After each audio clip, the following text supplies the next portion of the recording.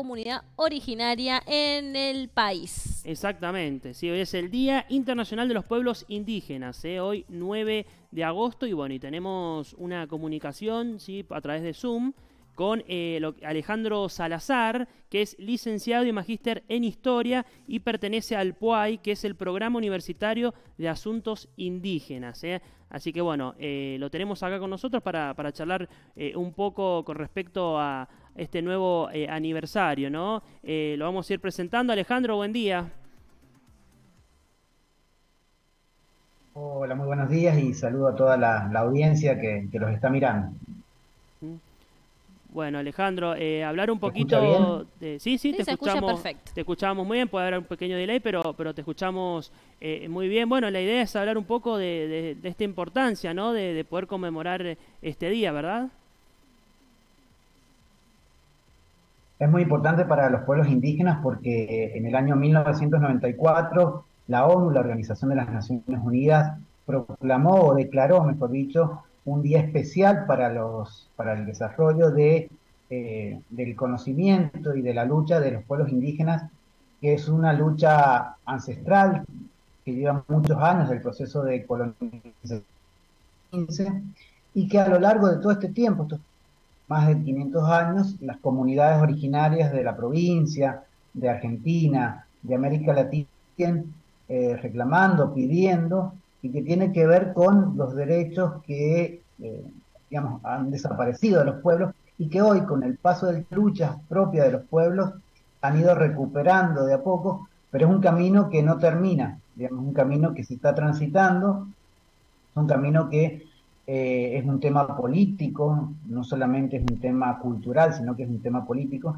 y que bueno, los estados han ido de a poco eh, dando un, respuesta a estos reclamos y en otros casos, digamos, ha sido como obviado estos derechos. Cuando hablamos de derechos, yo siempre les, digo a, los que hacen entrevistas o, al periodista o a los alumnos que hay cuatro grandes derechos de los pueblos. Tierra, agua, salud y educación. Esos cuatro derechos se resume la lucha indígena en todo este tiempo.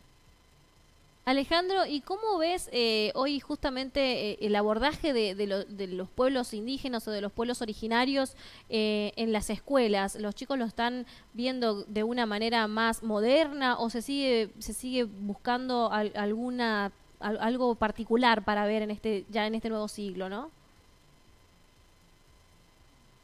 Y tenemos dos miradas. Por aún todavía hay algunos profes, algunos docentes que hablan de este indio, este concepto de indio que ya no lo utilizamos, básicamente está superado, porque tiene relación a un concepto de, atraso, ¿sí? De, lo malo, por lo tanto este concepto las comunidades originarias lo han eliminado hace mucho tiempo, hablamos de pueblos indígenas o pueblos originarios, y sí los docentes en estos últimos 20 eh, años hay un avance, y esto tiene que ver con que la Ley Nacional de Educación establece modalidad de educación intercultural, intercultural bilingüe, que tiene que ver justamente con poder formar a los docentes, a los alumnos también, con una mirada permitiendo reconocer la existencia actual de los pueblos indígenas. Esto nosotros en el, programa universitario de asuntos indígenas venimos trabajando hace más de 20 años ya, y ha ido dando resultados porque hemos ido trabajando con docentes, hemos trabajado con el ministerio, hemos trabajado con los institutos de formación cambio. Que es lento, sí, es lento, pero que se está viendo porque los, hoy los chicos, por ejemplo, ya no usan el término indio y hay un respeto a esta diversidad cultural, hablar de, los pueblos indígenas, el pueblo Huarpe, el pueblo de Aguita que habita en la, en la provincia de San Juan, es algo que se está dando, así que yo creo que estamos en buen camino y es un camino que se hace con diálogo y, con la capacidad de, poder eh, transformar un poco lo que o lo que traemos desde la antigua escuela y hoy ponerlo en, juicio. Bueno, y eso, siguiendo con eso que estabas mencionando, también no el cambio de nombre de la celebración del, día 12 de octubre, ¿no? Del ex Día de la Raza, que ahora también pasó a llamarse de hace unos años el Día de la Diversidad Cultural, ¿no? Ese es un tema muy importante porque el, el fundamento de ese cambio de nombre debiera ser, y acá yo hago siempre una crítica, debiera ser la mirada histórica sobre los pueblos indígenas. Pero a veces este nombre de diversidad cultural, de la forma en que se dice, pareciera a los indígenas quedar totalmente desdibujados de la fecha. Por eso es una crítica que yo puntualmente hago a este nombre, que se le cambia. Nosotros trabajamos con otro nombre, por ejemplo, hablamos del tema de la invasión a América, del tema de la usurpación.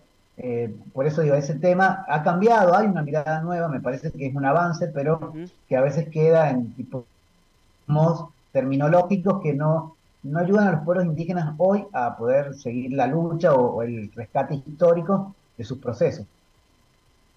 Bien, eh, Alejandro, y justamente hablando de, todos estos cambios que hay, ¿cómo está, cómo ves o, si ustedes notan un aumento de la visibilidad de los pueblos originarios?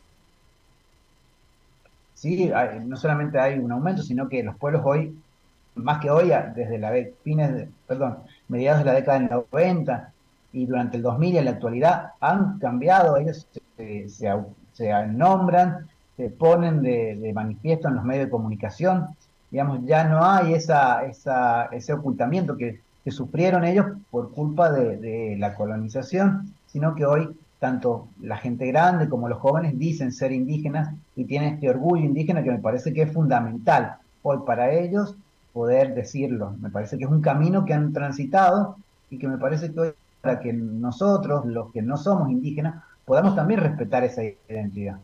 No, además, eh, esto del respeto es algo que se nota mucho incluso en los establecimientos educativos cuando se habla de, los actos, ¿no? Eh, antes uno decía, me tocó salir de indio y era como hasta peyorativo, ¿no? Y hoy, hoy día los chicos lo viven de otra forma, lo viven hasta con más alegría, podemos decirlo.